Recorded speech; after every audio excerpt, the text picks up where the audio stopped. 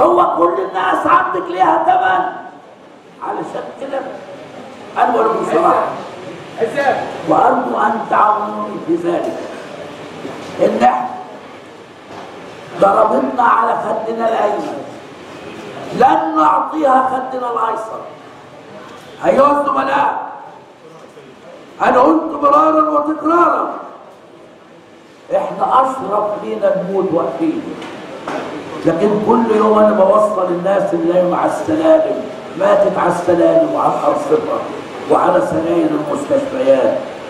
طب ما إحنا نموت يا أخي واقفين أرحم لينا يا أخي. دي حياة ده الإرهاب بيموتنا سريع. والوزيره بتقتلنا بالبطيء بالبطيء بالبطيء. ليه؟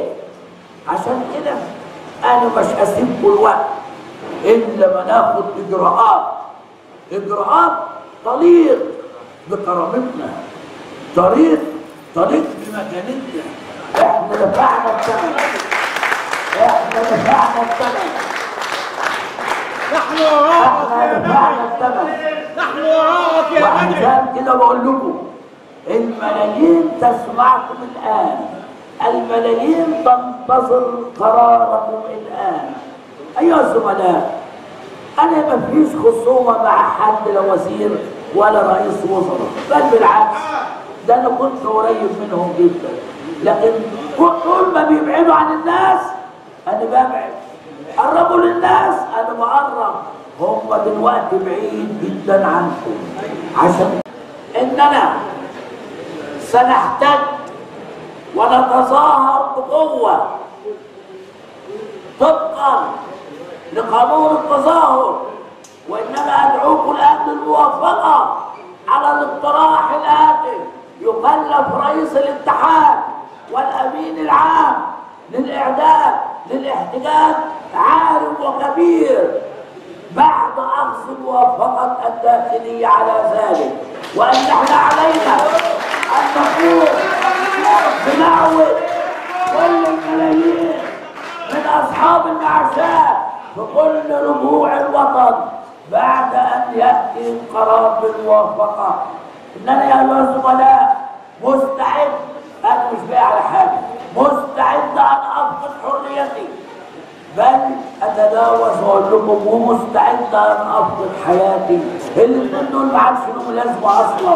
وبالتالي علينا ان إحنا خلي بالكم أنا ما بقولش حاجة للحكومه عايز منها فلوس أنا ما بطلبش الحكومة ده أنا بطلب مستحقاتي من الحكومة. مستحقاتي بطلب حقوق المادية أنا دفعت 42 سنة في التأمينات. لا يليق إن أنا أبقى في هذه الحالة.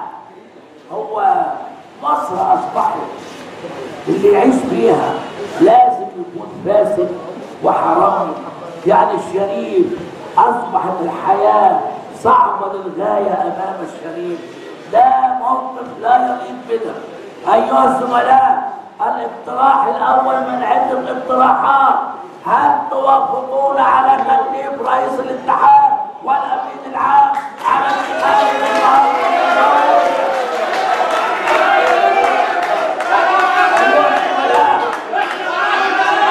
أيها الزملاء أنا استمعت من الكلمات صحيح. الأمين العام بإعادة تشكيل هيئة المكتب وضم عناصر جديدة إلى مجلس الإدارة حتى نستطيع القيام بواجبنا اتجاه كل مطالبكم الموافق على ذلك. يرفع ايده.